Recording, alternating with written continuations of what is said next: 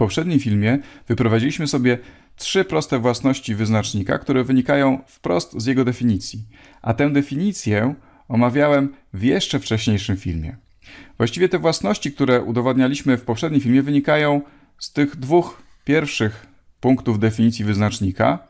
Więc każda funkcja, która spełnia te dwa pierwsze elementy tej definicji, ma te własności.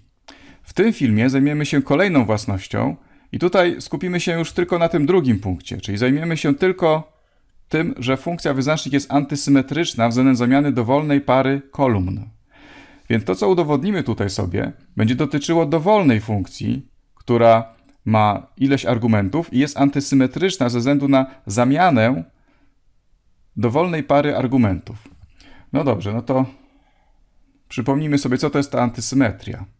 Czyli jak mamy jakąś funkcję, która na przykład to jest wyznacznik, która ma ileś argumentów, na przykład A1, A2. W kontekście wyznacznika te argumenty to są kolumny macierzy. I wyznacznik jest antysymetryczny względem zamiany dowolnej pary kolumn macierzy. Czyli tutaj mamy te kolumny, czy też dla ogólnie dla jakiejś funkcji antysymetrycznej mamy po prostu jakieś argumenty. No i wiemy, że, teraz, że jeżeli teraz zamienimy jakąś parę argumentów, na przykład zamienimy tutaj argument pierwszy z drugim, to ta funkcja zmieni znak na przeciwny. Będziemy mieli minus f, no i teraz zamieniam od a2, a1, a pozostałe argumenty są bez zmian. No dobrze. A co będzie, jeżeli tutaj ja trochę bardziej pomieszam te argumenty? Tutaj mamy taką prostą zamianę, która polega na tym, że zamieniamy tylko parę argumentów miejscami, a pozostałe się nie zmieniają. A co gdybym to jakoś bardziej pomieszał? Chciałoby się powiedzieć, gdybym przepermutował. Tutaj okaże się za chwilę, że te własności, o których tu będziemy mówili, mają dużo wspólnego z permutacjami. Przy, o, o permutacjach dużo mówiliśmy w filmach z kombinatoryki, no i tutaj te własności nam się przydadzą. No bo jeżeli ja tutaj bardziej pomieszam te argumenty, no to mogę zadać pytanie, czy znak się zmieni, czy się nie zmieni. No wiemy, że każda zamiana pary argumentów zmienia znak, więc jeżeli ja tutaj zamienię dwa argumenty, znak się zmienia. Jeżeli jakieś kolejne dwa argumenty zamienię, znak znowu się zmieni. Czyli po dwóch zamianach znak będzie znowu ten sam. Po trzech zamianach znak będzie przeciwny. Po czterech zamianach znak będzie znowu ten sam. Czyli widzimy, że to, co tutaj decyduje, to jest tylko parzystość liczby tych zamian. I ta parzystość to jest pewna własność tej permutacji, którą wykonujemy tutaj, zmieniając kolejność tych argumentów. I zaraz to wszystko sobie wyjaśnimy. Więc musimy przypomnieć sobie, co to jest permutacja. Z kombinatoryki wiemy, że permutacja w kombinatoryce to oznacza, że ustawiamy coś w różnych kolejnościach. Liczbę, per, liczbę permutacji no to liczyliśmy wtedy, kiedy liczyliśmy na przykład na ile sposobów można jakieś elementy ustawić w kolejności, w jakiś ciąg. No i właśnie tutaj mamy z tym do czynienia, bo możemy się zastanawiać, na ile sposobów możemy ustawić te argumenty. Ile różnych możliwych kolejności argumentów mamy dostępnych. Ale o permutacji możemy też myśleć jako o pewnej funkcji. Mianowicie takiej funkcji, ja to może napiszę, która przeprowadza, czyli permutacja, to jest z definicji funkcja wzajemnie jednoznaczna, wzajemnie jednoznaczna,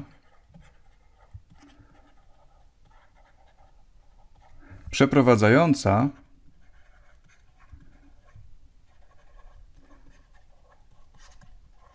przeprowadzająca zbiór skończony. No to poważnie brzmi, ale zaraz coś okaże bardzo proste.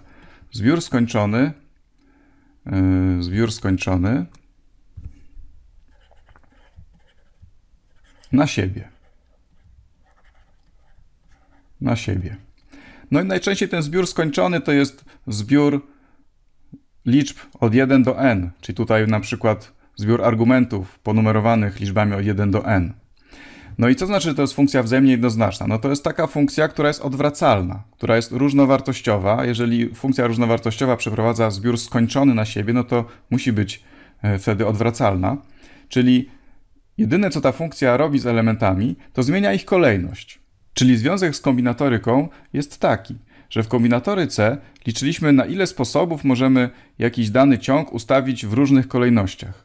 No i to nazywaliśmy liczbą permutacji. No a tutaj to, to samo pytanie zadajemy trosz, za pomocą troszkę innych słów. Pytamy, ile jest funkcji, które przeprowadzają w sposób wzajemnie jednoznaczny pewien zbiór na siebie. I to jest dokładnie to samo, bo każda taka kolejność to jest pewna taka funkcja, która miesza tę kolejność. Każda kolejność to jest inna funkcja. Czyli jeżeli pytamy, na ile sposobów możemy te argumenty tutaj ustawić w kolejności, no to jest dokładnie to samo pytanie, co ile jest funkcji wzajemnie jednoznacznych przeprowadzających taki zbiór na siebie. Tylko jak myślimy o tym jako o funkcjach, to ma to pewien dodatkowy walor, mianowicie taki, że funkcje możemy ze sobą składać. Możemy wykonać jakąś permutację, następnie wykonać drugą permutację na wynik działania tej poprzedniej. Więc permutacje możemy składać, a każda permutacja to jest funkcja, która jest wzajemnie jednoznaczna, czyli jest to funkcja odwracalna. Czyli każda permutacja ma również funkcję odwrotną. Jest też taka permutacja, która nie zmienia kolejności. I to jest funkcja identycznościowa, która każdemu elementowi przyporządkowuje ten sam element. I to jest taka pewna wyróżniona permutacja. No i jak mamy zbiór, zbiór tych wszystkich funkcji, zbiór permutacji pewnego konkretnego zbioru, możemy te funkcje ze sobą składać, możemy je odwracać, to mamy tutaj do czynienia ze strukturą, którą w algebrze nazywa się grupą. Mamy działanie w grupie, mamy składanie, mamy do, dla każdego elementu element odwrotny i mamy identyczność, mamy jedynkę, czyli taką permutację, która niczego nie zmienia, czyli złożona z każdą inną permutacją daje tę samą permutację. No ale te akurat własności grupy nie będą nam specjalnie potrzebne, chociaż dla pewnej nauki, dla poszerzenia horyzontów możemy sobie tutaj przećwiczyć. Więc powiedzmy, że mamy zbiór 1, 2, 3, złożony z trzech elementów. To jest nasz zbiór. I teraz możemy zapytać, ile jest permutacji zbioru trzyelementowego. No, wiemy z filmów o permutacjach, że liczba permutacji to jest zbioru n-elementowego, to jest n silnia. No więc w tym wypadku n silnia to będzie 3 silnia, czyli to jest 6. Istnieje 6 permutacji zbioru trzyelementowego, czyli istnieje 6 funkcji wzajemnie jednoznacznych przeprowadzających ten zbiór na siebie. No i tutaj możemy sobie zrobić taki przykład, jak się składa takie permutacje. Powiedzmy, że wezmę dwie permutacje. Jedna permutacja to będzie taka, która będzie działała w ten sposób. Mam, mam liczby 1, 2, 3 i teraz zapis permutacji jest taki, że zapisujemy na co przechodzą te liczby. Powiedzmy, że jedynka przychodzi na dwójkę, a dwójka przychodzi na jedynkę, a trójka przychodzi na trójkę. Czyli to jest taka permutacja, która zamienia dwójkę z jedynką, a trójki nie rusza. Tutaj czytamy to w ten sposób, że jedynka przychodzi na dwójkę, dwójka na jedynkę, trójka na trójkę. I powiedzmy, że tę permutację chcemy złożyć, czyli tutaj napiszemy symbol składania funkcji, z inną permutacją. Na przykład weźmy sobie taką permutację 1, 2, 3 i powiedzmy, że jedynka przychodzi na trójkę, dwójka przychodzi na dwójkę, a trójka na jedynkę. Czyli to jest taka permutacja, która nie rusza dwójki, a zamienia jedynkę z trójką. No i zobaczmy, co otrzymamy w wyniku złożenia tych dwóch permutacji. Co tutaj dostaniemy? No to jak się składa funkcja? Od prawej do lewej. Najpierw działa ta funkcja, która jest po prawej, następnie na wynik działania tej funkcji działa ta kolejna funkcja, która jest po lewej. No to zobaczmy, na co będą przychodziły po kolei te liczby. Na co przejdzie jedynka? No więc ta permutacja jedynkę przeprowadza na dwójkę, może ja tutaj będę pisał. Jedynka przychodzi na dwójkę, a następnie dwójka przez tą drugą permutację jest prze, przekształcana znowu na dwójkę. Czyli jedynka przejdzie na dwójkę. Dobrze, teraz na co przejdzie dwójka? Dwójka, tutaj dwójka przychodzi na jedynkę, a ta druga permutacja jedynkę przeprowadza na trójkę. Na trójkę. Czyli dwójka przejdzie na trójkę. No dobrze, na co przejdzie trójka? No tutaj już nie ma wiele do wyboru. Wiadomo, że musi przejść na jedynkę, żeby, żeby ta funkcja była różnowartościowa, ale sprawdźmy, na co przejdzie trójka. Trójka przez pierwszą permutację jest przekształcona na trójkę, a przez tę drugą jest przekształcana trójka na jedynkę. Zgadza się. Czyli tutaj przechodzi na jedynkę. No i mamy tutaj w wyniku taką permutację, która już rusza wszystkie trzy elementy. czyli jedynka przechodzi na dwójkę, dwójka na trójkę, trójka na jedynkę w wyniku złożenia takich dwóch permutacji. A to jest o tyle ciekawe, że tutaj mamy właśnie takie permutacje, które są takie najprostsze możliwe, mianowicie takie, które zamieniają tylko parę elementów, nie ruszają tych pozostałych. Tutaj nie rusza trójki, ta permutacja nie rusza dwójki i zamienia tylko, przestawia tylko dwa elementy. Czyli to są tego typu permutacje, które zamieniają tylko dwa elementy, co najłatwiej jest nam zinterpretować tutaj w kontekście takich funkcji antysymetrycznych. No bo wiemy, że jeżeli zamieniamy tylko dwa elementy, nie ruszając wszystkich pozostałych, to ta funkcja antysymetryczna zmienia znak na przeciwny.